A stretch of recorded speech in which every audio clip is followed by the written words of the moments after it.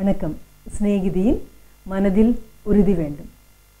நம்ம வீட்டுக்கு யாராவது வந்து நம்ம குழந்தைங்களை சந்திக்கும் பொழுது எல்லாருக்கும் கேட்கறதுக்குன்னு ஒரு நாலு கேள்வி வச்சுருப்பாங்க. அது அந்த குழந்தையுடைய வயதை பொறுத்தது. ரொம்ப சின்ன குழந்தை ஒரு மூணு வயசு நாலு வயசு இப்போ தான் பள்ளிக்கூடத்தில் விட்டுருக்காங்க அப்படின்னு சொன்னால் உன் பேர் என்ன? அப்படின்னு தொடங்கி உன் எந்த கிளாஸுக்கு போகிற அப்படிங்கிறதுலேருந்து ஆரம்பித்து உன் டீச்சர் பேர் என்ன? நல்லா படிப்பியா? இதெல்லாம் கேட்டுகிட்டே வரும். இதே இந்த மூணு வயசு குழந்தை பதிமூணு வயசு குழந்தை அப்படின்னு சொன்னால் இதே கேள்விகள் தான் கேட்போம். ஆனால் இந்த கேள்வி கேட்கும்போது அம்மாவோ அப்பாவோ பக்கத்தில் வந்து நின்று நம்ம சரியாக பதில் சொல்லாட்டா சொல்கிறதுக்கு கொஞ்சம் அதிகமாக உதவ ஆரம்பிப்பாங்க. என்ன மாதிரி இருக்கும்? அப்படின்னா என்னங்க நல்லா படிக்கிறானா? ஆச்சு இப்போவே எயிட் ஸ்டாண்டர்ட் வந்துட்டான். இனி நைன்த்து டென்த்து அவ்வளோதான் வாழ்க்கை இனிமேல் இதில் தான் தீர்மானிக்க போகுது. அப்படின்னு அவங்கவுங்க அனுபவத்தை வச்சு எல்லாரும் எல்லாரும் ஆலோசனை கொடுக்க ஆரம்பிப்பாங்க. அட்வைஸ் எல்லாம் பண்ண ஆரம்பிக்கும்போது அப்பா அம்மாவுடைய பெரும்பாலான அப்பா அம்மாவுடைய ஒரே ஒரு குற்றச்சாட்டு என்னவாக இருக்கும் தெரியுமா? நல்ல புத்திசாலி பையங்க. நல்லா படிக்கக்கூடிய பையன்தான். பிரச்சனை என்னன்னா இவன் நண்பர்கள் சரியே இல்லை. இது கொஞ்சம் கூட யோசிக்காம நம்ம அத்தனை பேரும் நம்ம குழந்தைகளுடைய நண்பர்களை பற்றி பதிவாக சொல்லக்கூடிய ஒரு குற்றச்சாட்டு. ஆனால் பல இடங்களில் பார்த்துருக்கேன். இது வரைக்கும் இன்னும் ஒருத்தரை கூட பார்க்கல. என் பையன் தாங்க கொஞ்சம் ஏறுக்குமாறாக இருப்பான். ஆனால் அவனுடைய நண்பர்கள் இருக்காங்க இல்லையா? தங்கமான பசங்க. அவங்க ஏதோ இவ்வளோ நல்ல நண்பர்களாக இருக்காங்களோ இவன் கொஞ்சம் கூட புத்திசாலியாக பழிச்சு போகிறானோ அப்படின்னு சொல்கிற மாதிரி ஒரு தாய் தகப்பனை இது வரைக்கும் நான் பார்த்துருக்கேனாங்க கண்டிப்பாக கிடையாது. நம்ம குழந்தையை விட அந்த குழந்தையோட நண்பர்கள் மேலே நமக்கு இன்னும் அதிகமான குற்றச்சாட்டு இருக்குது ஏதோ நம்ம வீட்டில் மிக நல்ல ஒரு சூழ்நிலையை நம்ம உருவாக்கி எப்பொழுதுமே கொடுக்கறதாகவும் அமைதியே நிலவக்கூடிய ஒரு சூழ்நிலையை கொடுக்கறதாகவும் குழந்தை வளர்கிறதுக்கான ஆரோக்கியமான எல்லா விதமான உபகரணங்களையும் அவங்க வச்சிருக்கிறதாகவும் கற்பனை பண்ணிக்கிறோம் நாம். ஆனால் எனக்கு இப்போ நான் உங்ககிட்ட சொல்லக்கூடிய இந்த ஒரு கதை நம்மளுடைய இந்த நிலைப்பாட்டை கொஞ்சம் மாற்றி பார்க்குற மாதிரி இருக்கும்.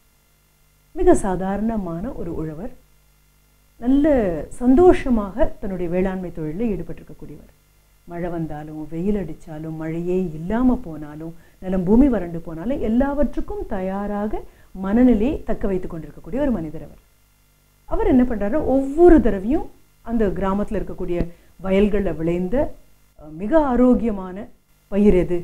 எந்த தானியம் மிக ஆரோக்கியமாக இருக்குது அப்படின்னு ஒரு போட்டி வச்சாங்க அப்படின்னா ஒரு வருடம் ரெண்டு வருடம் கிடையாது.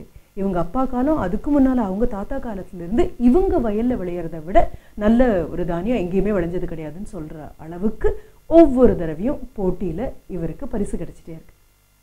இவங்க அப்பா காலத்தில் எப்படி நடந்ததோ தெரியாது. ஆனால் இவருடைய காலத்தில் போட்டியில் இவர் பரிசு வாங்கின உடனே செய்யக்கூடிய ஒரு வேலை என்ன தெரியுமா? இந்த போட்டியில் எந்த தானியங்கள் மிக நல்ல தரம் வாய்ந்தது அப்படின்னு அங்கே இருக்கக்கூடிய அந்த நீதிபதிகள் ஜட்ஜஸ் எல்லாம் எடுக்கிறாங்களோ அந்த தானியத்தை அப்படியே ஒரு மூட்டை தனியாக நகர்த்தி வைப்பார். எந்த மூட்டையிலேருந்து அவங்க எடுத்து பார்த்துருப்பாங்களோ அந்த மூட்டை அப்படியே தனியாக நகர்த்தி வைப்பார். எல்லோரும் நினைப்பாங்க இவர் திருப்பி கொண்டு போக போகிறாரு அப்படின்னு. இவர் அதை எடுத்துகிட்டு எல்லாம் போக மாட்டார். கரெக்டாக அந்த பெரிய சாக்கு நிறைய இருக்கக்கூடிய தானியத்தை சின்ன சின்ன பைகளில் அதாவது ஒரு வயலில் தூவுறதுக்கு எவ்வளோ விதையாக தேவைப்படும் அந்த மாதிரி சின்ன சின்ன பைகளில் அந்த தானியங்களை எடுத்து எடுத்து போட்டு கட்டி பத்திரமா கையில் வச்சுருப்பாரு. பரிசு கிடைத்து பாராட்டு கிடைத்து சான்றிதழ்கள் கிடைத்து எல்லாரும் அமோகமாக இவரை கொண்டாடி எப்படி வருஷா வருஷம் என்ன மாதிரி ஒரு சூழ்நிலை இருந்தாலும் மழை வந்தாலும் வராட்டாலும் கூட உங்களால் எப்படி பயிரிட முடியுது? அப்படின்னு இவர் எல்லாரும் பேட்டி கண்டு முடிச்சுட்டு போனதுக்கப்புறம் சிரிச்சுட்டு என்ன பண்ணுவார் தெரியுமா?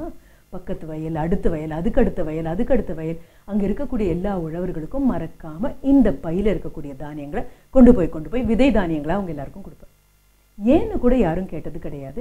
ஒரே ஒரு தடவை இந்த நீதிபதி எல்லா நீதிகளும் எல்லாம் சொல்லி முடிச்சதுக்கப்புறம் அறிவித்து முடிச்சதுக்கப்புறம் கைத்தட்டல்கள் எல்லாம் முடிச்சதுக்கப்புறம் மாலைகளும் பொன்னாடைகளும் எல்லாம் விழுந்ததுக்கப்புறம் கிளம்பி போகக்கூடிய அந்த ஜட்ஜஸ் பேனல் அப்படிம்போமே அந்த நீதிபதிகளுடைய அந்த குழு அதில் ஒருத்தர் போன தடவையும் அவர் இதை பார்த்துருக்காரு அதுக்கு முந்தின தடவையும் இதை பார்த்துருக்காரு.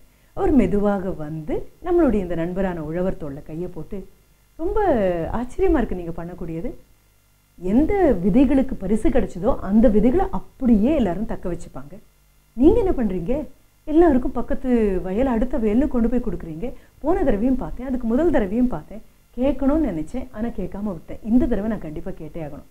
என்ன இதுக்கு பின்னால்? பெரிய ரகசியம். சிரிச்சிட்டே அந்த உழவர் சொல்கிறார் சுயநலம் தான். சுயநலத்தை விட பெரிய ரகசியம் வேறு என்ன இருக்க போகுது? சுயநலமா? எல்லாருக்கும் கொடுக்கறதுக்கு பேர் சுயநலமா என்ன? ஆமாம் சுயநலம் தான். என்னன்னு பார்த்தீங்களா?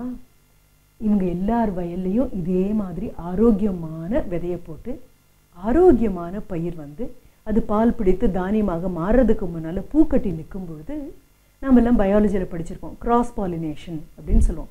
அங்கே இருக்கக்கூடிய பூச்சிகள் தான் இங்கே கொண்டு வரும் மகரந்த சேர்க்கையில். அங்கே இருக்கக்கூடிய அது தேனியாக இருக்கலாம் அல்லது பட்டாம்பூச்சியாக இருக்கலாம் அல்லது ஒரு சின்ன வண்டாக இருக்கலாம். அங்கே இருக்கக்கூடிய பூக்கள்லேருந்து மகரந்தத்தை கொண்டு வந்து இங்கே வந்து சேர்க்கும். பக்கத்து வயல்லையும் அடுத்த வயல்லையும் பழுதுபட்ட பயிராக இருந்தாலும் பலவீனமான விதைகளில் வந்த பயிராக இருந்தாலும் என்ன ஆகும் தெரியுமா? அந்த மகரந்த சேர்க்கையில் நான் நினைக்கிற மாதிரி ஆரோக்கியமான தானியம் வளரக்கூடிய வாய்ப்பே இல்லாமல் போயிடும் அப்போ என்னுடைய தோட்டத்திலேயோ என்னுடைய வயல்லையோ இருக்கக்கூடிய செடி ஆரோக்கியமாக வளர்ந்து ஆரோக்கியமான தானியங்களை கொடுக்கணும்னா மிக முக்கியமாக எதை நான் பார்க்கணும் தெரியுமா? பக்கத்து வயல்லையும் அடுத்த வயல்லையும் அதுக்கடுத்த வயல்லையும் அதுக்கடுத்த வயல்லையும் என்ன பயிர் பயிரிடப்படுகிறது அது எவ்வளவு ஆரோக்கியமாக இருக்குது அதற்காகத்தான் எல்லாருக்கும் நல்ல விதைகளையே நான் கொடுக்குறேன். அதனால் என்ன ஆகும் போன நல்ல விதை மகரந்த சேர்க்கை அயல் மகரந்த சேர்க்கை அப்போ திரும்பி வரும்போது எனக்கு நல்லதாக வந்து வாய்க்கணும். இதைத்தான் நான் உங்ககிட்டயும் சொல்கிறேன் நம்ம குழந்தை நம்ம குழந்தை நம்ம குழந்தைன்னு பார்த்து நம்ம குழந்தையுடைய நண்பர்களை குற்றம் சொல்கிறது முதல்ல நிறுத்திடலாம். என்ன பண்ணணும் தெரியுமா? என் குழந்தை எவ்வளோ நல்ல குழந்தையா வளரணும் அப்படின்னு நான் பார்த்து பார்த்து எடுக்கக்கூடிய பல விஷயங்கள் இருக்கு இல்லையா? இதை என் நண்பர்கள் என் குழந்தையுடைய நண்பர்கள் இருக்காங்களே அவங்க தாய் தகப்பனோட பகிர்ந்துக்கணும். அவங்களும் இதே அக்கறையில் தான் இருப்பாங்க. நீங்கள் எப்படி உங்கள் பையனை கொண்டாடி அந்த குழந்தைய குற்றம் சொல்கிறீங்க அதே மாதிரி தான் அந்த குழந்தையோட அம்மாவும் சொல்லுவாங்க என் பையன் நல்லவன் தான் என் பொண்ணு நல்ல குழந்தை தான் நட்பு தான் சரியில்லை அப்படின்னு. பக்கத்து வீடும் அடுத்த வீடும் எதிர்த்த வீடும் ஏன் வீதியே ஆரோக்கியமாக இருந்தால் மட்டும்தான் நம்ம மனதில் சந்தோஷம் இருக்கும். அதே மாதிரி தான் நம்ம குழந்தை மட்டும் ஆரோக்கியமாக வளர்ந்து வரதில்லை. அதனுடைய வகுப்பு தோழன் அவனுடைய பெஞ்ச் மேட்டுன்னு சொல்லுவோம் கிளாஸ்மேட்டுன்னு சொல்லுவோம் எல்லா குழந்தைகளும் நம்ம குழந்தை அளவே ஆரோக்கியமான மனநிலையோடு இருந்தால் மட்டும்தான் நம்ம குழந்தையுடைய ஆ- ஆரோக்கியமான மனசுக்கு நம்ம உத்தரவாதம் கொடுக்க முடியும். இப்போ என்ன பண்ணலாம்? நம்ம வட்டத்தை தாண்டி இந்த விவசாயி பார்த்த மாதிரி ஒரு அழகான பொதுநலத்தை கொண்டு வந்தோன்னு வைங்க. அந்த பொதுநலத்துக்குள்ளே கூட சின்னதாக ஒரு சுயநலம் நிற்கும். ஆனால் இந்த சுயநலம் எதற்காக வருது? எல்லோரும் இன்புற்றிருப்பதெல்லாம் வேறொன்றறியன். அவ்வளோதான் எல்லோரும் சந்தோஷமாக இருக்கணும் கடவுளே. இருந்தால் நான் கெஞ்சாமல் கேட்காம சந்தோஷமாக இருப்பேன். இதை ஒரு தடவை கூட பார்த்துக்கலாம். இனி உங்கள் குழந்தைய உட்கார வச்சு அவங்ககிட்ட பேசும்போது அவருடைய நண்பர்களையும் கூப்பிடுங்க. என்ன சொன்னால் இதமாக இருக்கும்? என்ன சொன்னால் இங்கிதமாக இருக்கும்? என்ன சொன்னால் பதமாக இருக்கும்? பார்த்து பார்த்து வார்த்தைகளை குழந்தைங்கிட்ட கொடுங்க. அதுக்கப்புறம் எதை நிறுத்திடுவோம்? என் குழந்தை மட்டும் நல்ல குழந்தைங்கிறத விட்டுட்டு என் குழந்தை கூட கொஞ்சம் முன்னுக்கு பின் போகலாம் அவனுடைய நண்பர்கள் வாய்த்திருக்கிறது மிகப்பெரிய கொடை மிகப்பெரிய வரப்பிரசாதம் அப்படின்னு சொல்ல ஆரம்பிப்போம். முயற்சி செய்வோமா? கண்டிப்பாக நன்றி வணக்கம்.